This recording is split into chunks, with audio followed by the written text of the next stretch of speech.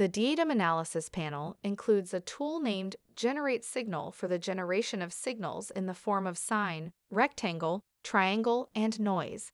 The amplitude, offset, phase shift, number of values, and the sample rate may be specified for all signal types. The frequency may be specified for sine, rectangle, and noise. All generated channels are of type waveform. The following tutorials will generate a signal that simulates acceleration data with dominant frequencies at 3 and 40 Hz. This composite signal will be used by the tutorial Differentiate and Integrate. This tutorial will demonstrate how to generate two sine signals. The tutorial that follows will demonstrate how to add those two signals together into a signal channel. The third tutorial will convert the waveform signal to a numeric channel clear the data portal, and then create and activate a new channel group named Generate Signal.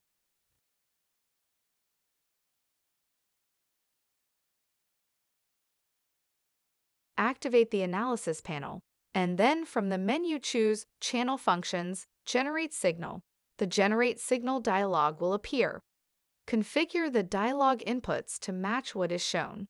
Set the signal form to sine, frequency to 3 Hz, amplitude to 19.6, offset to 0, unit to meters per second squared, phase shift to 0, number of values to 1024, sample rate to 1 kHz, and time unit to seconds. Click the Calculate button to generate the signal. Edit the dialog Generate Signal Control Values to create another sine wave. Set the frequency to 40 Hz and the amplitude to 4.91. When finished, click the Calculate button to generate the signal. Click the Close button to close the dialog. Add the two signals by using the Analysis Add function. From the Analysis panel menu, choose the Basic and then Add menu options. Drag and drop one sine channel from the data portal to the Add dialog channel control labeled First Channel. Drag and drop the second sine channel from the data portal to the Add dialog channel control labeled Other Channels. Click the Calculate button to add the signals, creating a new channel. Close the dialog when finished.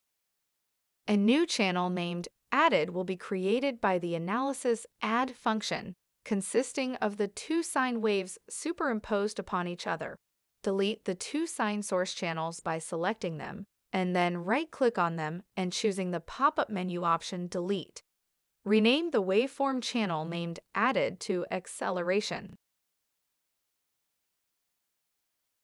Continuing from the prior tutorial's signal generation, and add two signals.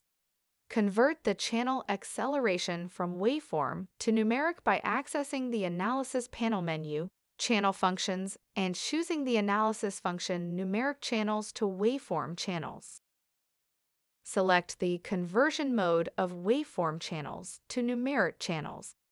Drag and drop the acceleration channel from the data portal to the numeric channels to waveform channels dialog channel input control labeled channels. Make sure the checkbox keep as waveform channels is not checked select the XBART option of Generate Numeric Channel Relative Time Reference. Click the Calculate button to perform the conversion. Click the Close button when finished. The waveform channel acceleration in the data portal has now been converted to a numeric channel, and a new channel named Time has been created. The time channel is a read-only implicit channel. Convert it from implicit to a read Write Explicit Channel by selecting it in the Data portal. Then right-click and choose the pop-up menu option Expand Channels.